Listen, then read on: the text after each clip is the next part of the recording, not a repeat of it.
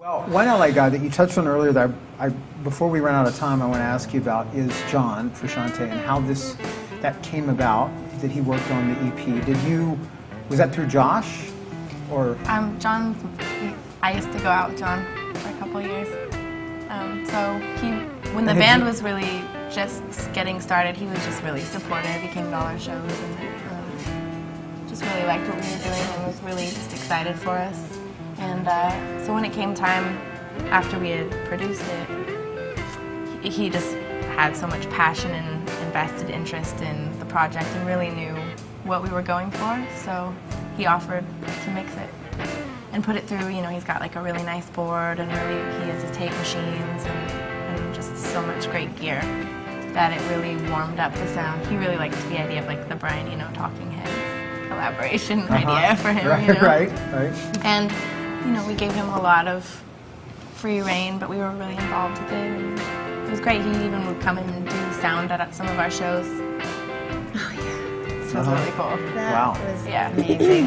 He's just an artist, you know, and he just puts his complete heart and soul into whatever he does, like a child, just so invested. It was really, we were really lucky to. Yeah, he's put out some some some interesting records that I think you know people who only superficially know his work uh, are, are maybe not that aware of, but um, some really some really great stuff. And now, of course, I guess that his sort of uh, departure from the Peppers was like that happened a while ago, but it only recently sort of came out that he was no longer officially part of the band. Was it?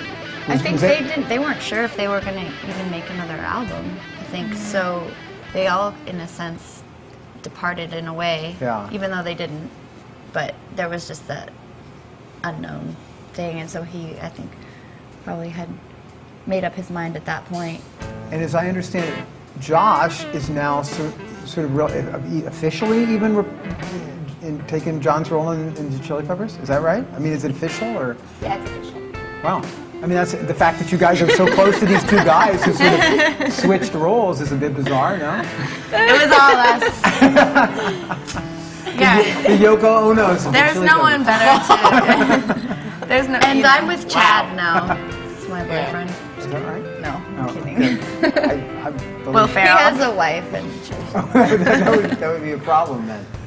Um, but uh, but you're not working with John on the on the full length. That's you can talk a bit about Tom for people who don't know him or Tom, Biller.